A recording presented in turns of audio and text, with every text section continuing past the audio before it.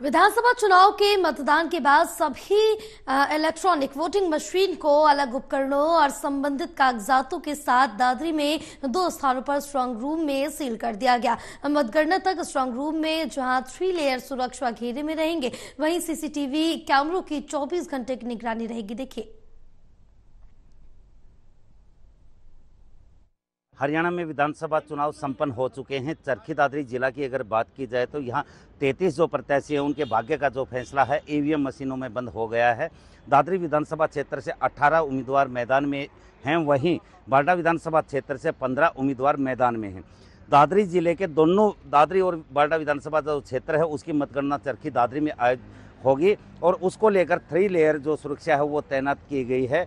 यहाँ पर किसी भी तरह का कोई परिंदा पर नहीं मार सकता। इस तरह की यहाँ सुरक्षा के दावे किए गए हैं। दादरी विधानसभा क्षेत्र के जनता कॉलेज में, वहीं बारडा विधानसभा क्षेत्र की जेडी के स्कूल में यहाँ पर मतगणना होनी है और प्रशासन ने यह दावा किया है कि इस बार जो मतगणना है, वो शांतिपूर्ण तरीके से और पुलिस सुरक्षा के बीच में यहाँ संपन्न की जाएगी। चरखी दादरी से प्रदीप साहू टोटल न्यूज़